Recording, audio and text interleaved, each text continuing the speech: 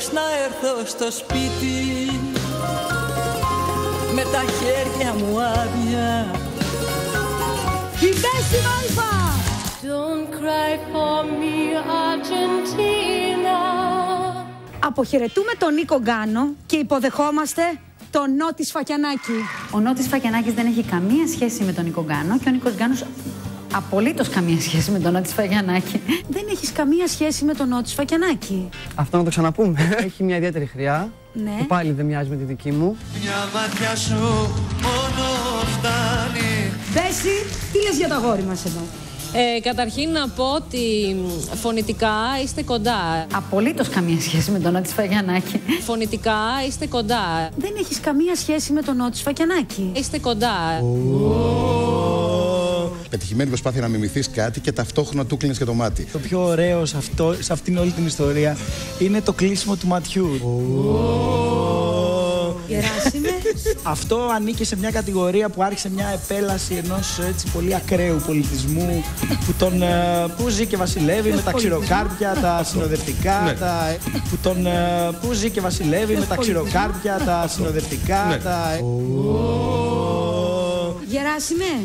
Εγώ θα τις πετάξω τα δύο τελευταία λουλουδάκια που έχω. Εγώ θα τις πετάξω τα δύο τελευταία Ε, ναι. λουλουδάκια που έχω. Γεράσιμε. Πάμε. Πάμε. Πάμε, άντε. Πού Γεια πάτε; σας. Λοιπόν, Πάει το παιδί. λοιπόν. Πάει το παιδί. Πάμε. Φτάνει και η κοιλιά. Νορβηγία 2009. Τι έγινε, ξέρω. για να δούμε, δεν ξέρω. Νορβηγία 2009. Τι έγινε, για να... Νικητή στην Eurovision το 2009 που πραγματοποιήθηκε στη Μόσχα ήταν ο Αλεξάνδερ Ρίμπακ με το Fairy Tail. Νορβηγία 2009. Τι έγινε, ξέρω. για να...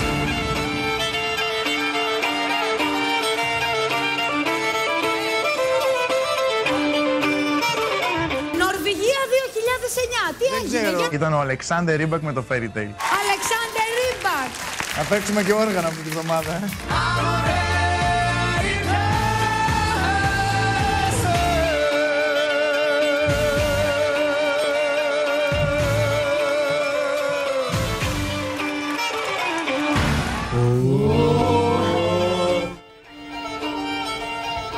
Εγώ Νίκο μου δεν συμφωνώ με αυτά τα βίντεο. Εγώ με το βίντεο αυτό, εγώ είμαι εκτός του βίντεο. Κι εγώ.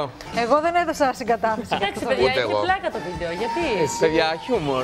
Για ναι, χιούμορ, πολύ, ναι. πολύ συμφωνώ, αλλά εγώ δεν έχω καμία επαφή με το Μα βίντεο. συγγνώμη, ρε παιδιά, όντως και εγώ που τον είδα το Μαρτάκι μου έκανε εντύπωση γιατί εγώ θυμάμαι ότι τους είχα δει μαζί με το Ρίμπα. Βέβαια, στο σταμάτα τώρα. Σταμάτα φετινά Για που την έγιναν. επιλογή την του Eurovision. τραγουδιού. Πίστευα ότι θα Ναι. χαρεί επειδή τον Συγγνώμη, ξέρει, για την έχουν επιλογή του συνεργαστεί και Eurovision. θα το.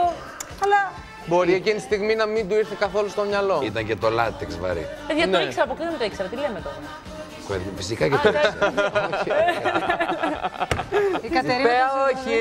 Πε όχι. συμπαθεί. Η Κακάκη τον συμπαθεί πολύ το γενετά, Ε, όπως εμείς. Εγώ, εγώ πιστεύω. Εντάξει, ο Γενατά νομίζω ότι γίνεται λίγο κουραστικός σιγά σιγά. Ναι. Ναι, μπορεί να στεναχωρεθεί που το ακούει, μπορεί και να μην τον νοιάζει και καθόλου. Πιστεύω ότι λίγο πια, δηλαδή, επειδή κάτι, νομίζω ότι το είπε σε συνέντευξη, ότι ήταν να πάει να είναι παίκτης. Α, Δηλαδή φαίνεται. στην αρχή γίνει κουβέντα για παίκτη. Και δεν έγινε. Δεν ξέρω τι Νομίζω ότι έγινε. ήταν καλός και σαν παίκτης. Πιστεύω ότι δεν ξέρω τι έγινε. Απλά νομίζω ότι το, το έχει στοιχήσει. Εγώ νομίζω Γιατί ότι ήταν παίζει. καλύτερος σαν παίκτη. Παίζει κάθε φορά που θέλει να κάνει ένα σχόλιο. Θα κάνει το αστείο του, θα σηκωθεί πάνω.